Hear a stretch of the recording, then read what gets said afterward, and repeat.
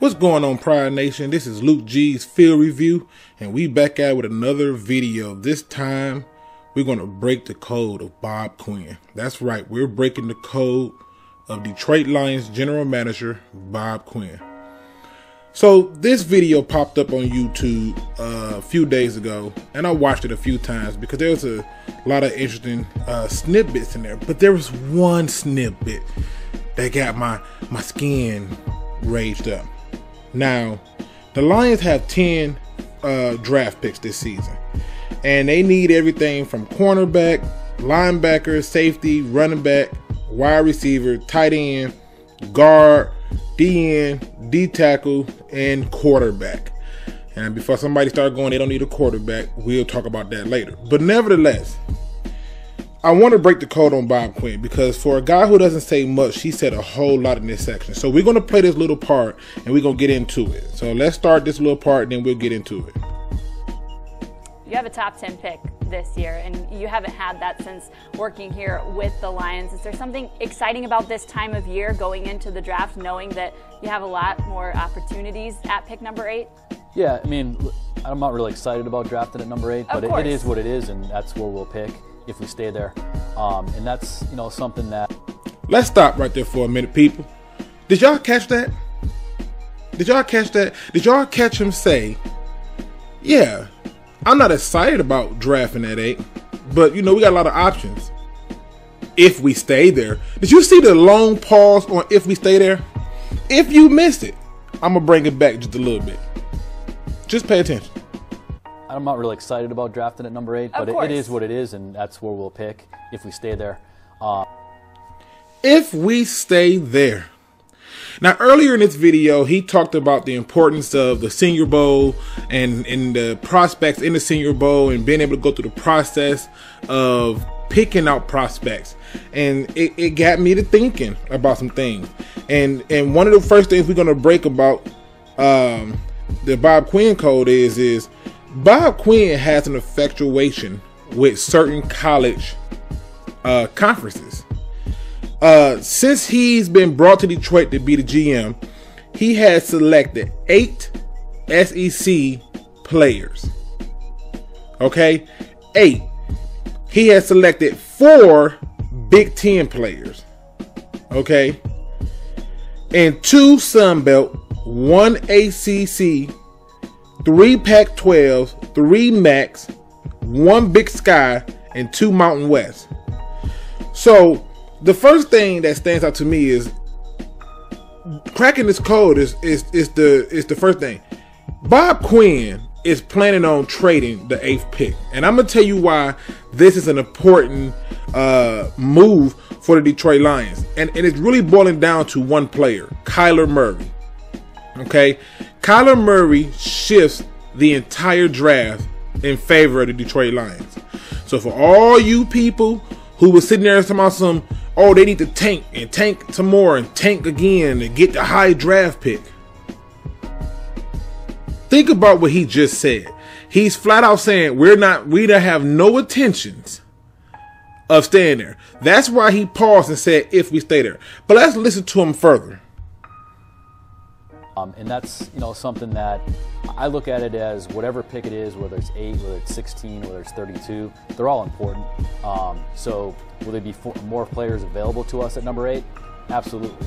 Um, you know, in previous years when we were drafting the teens, the late teens or 20s, um, you could really cross off about eight or 10 guys because you have no chance of getting them and you're not going to trade up that far. Now, really, the whole draft is open to us. Um, Now let's let's take a minute and stop right here. The whole draft is open to them. Oh my god.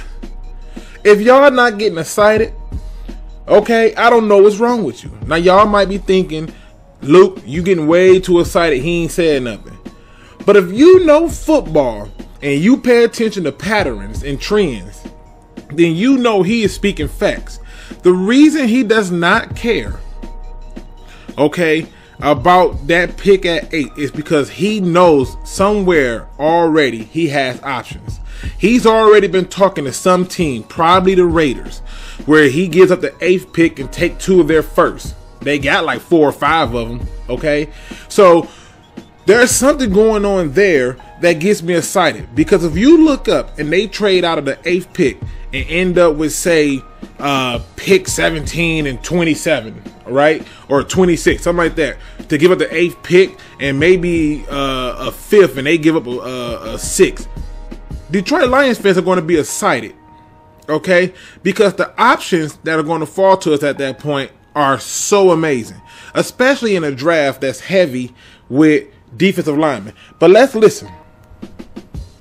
So that really opens up a little bit more of the um, top end that we haven't been used to really diving into um, in terms of evaluation. So um, it's exciting. I mean, the draft is exciting no matter where you pick. So um, we'll take the best of um, these opportunities and try to build a team. This is your fourth year as general manager. What have you learned going into your fourth year? Um, you learn a lot every year. Um, every year is different in the NFL. Um, the thing that we always talk about is every year the team's different, and there's a different dynamic of, of the locker room, of the of the player skill set, um, and, and overall the composition of the team. You know, some years you might have an older team, some years you might have a younger. You know, our goal is always to have a balanced team with some veterans and some young players. All right. You heard it there yourself, people. Their goal is to have a balanced team. This is not about Matthew Stafford.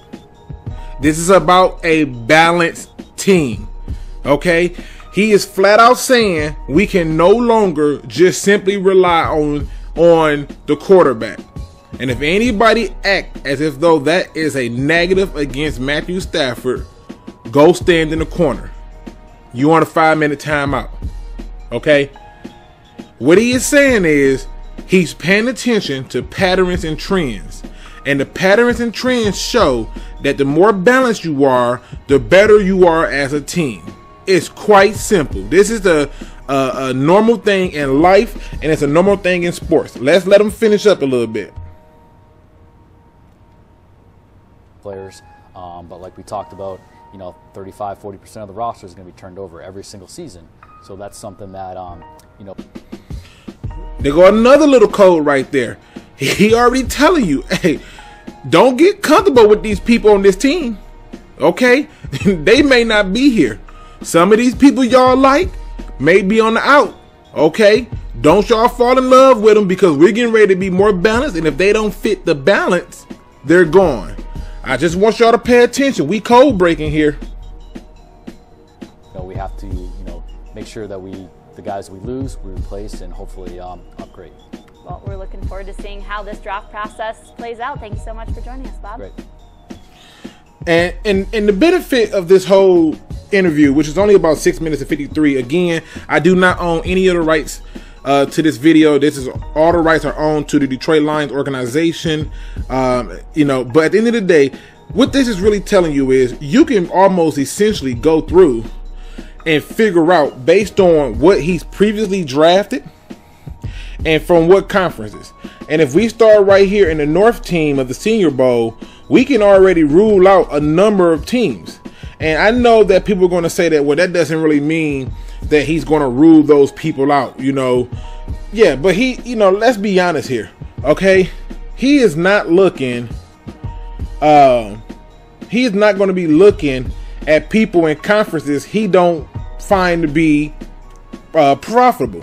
And the Matrix show that he loved him some S uh, EC people, Big Ten, MAC, and uh, Pac 12. So if we just go down here, we can almost look. Okay. Uh, let's start right here at the running back position. Nope, don't fit the conference. So I don't even have to look at a guy like this. Not saying that he won't be a good player, but I just want to kind of focus on it. But like Drew Lock from Missouri, SEC quarterback. Is this a guy that Bob Quinn would look at? Possibly because Drew Lock could possibly be a fifth or sixth round draft pick.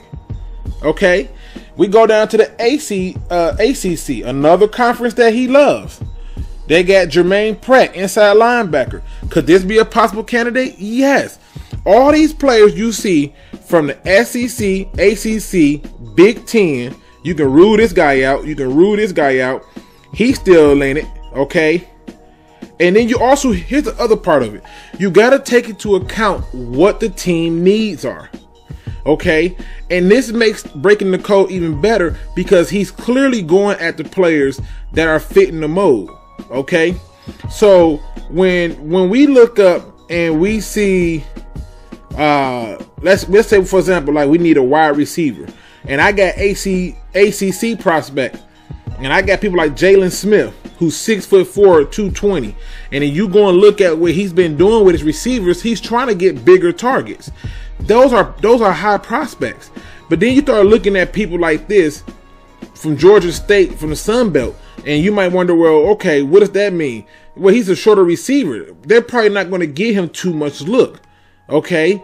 Now, when you start to get into the the neck of things, and you started getting into the Pac-12, inside linebacker from USC. These are schools that he's going with, which might I add is a good thing. So for Detroit Lions fans who may feel as if though, uh, you know, the Bob Quinn is not talking enough or they listening to certain radio stations, understand something. The codes is easy to break if you know the pattern. He he loves SEC. All these guys are in play. Okay? All these guys are in play. ACC safety, we need a safety. He's in play. Okay, a MAC quarterback. Uh, is he going to be in play? Depending on who gets him before, but these are all in play. So if they're SEC, if they're MAC, if they are uh, uh, Pac-12 or Big Ten, them four conferences, you can bet your bottom dollar we're looking at those conferences. The other players, like from the Mountain West and the Sun Belt, he took all those players in the later rounds. So when you want to see who those fifth, sixth, seventh round guys are, look into the Mountain West, uh, the Sun Belt, and the Big Sky. Look into those conferences. And people, go do your research. Okay? Do your research and just go through and do it based on the Lions' need. The Lions' needs, in case you missed it, the Lions' needs are cornerback, linebacker, safety, running back, tight end, guard, wide receiver, D tackle, D end, and quarterback. And the Lions have 10 draft picks. Do your research, and you're going to find that these guys are the ones who they're going to be looking at. Uh, that's it for this video, guys, and I'll be back at you with another one in a hot second. Until then, what up?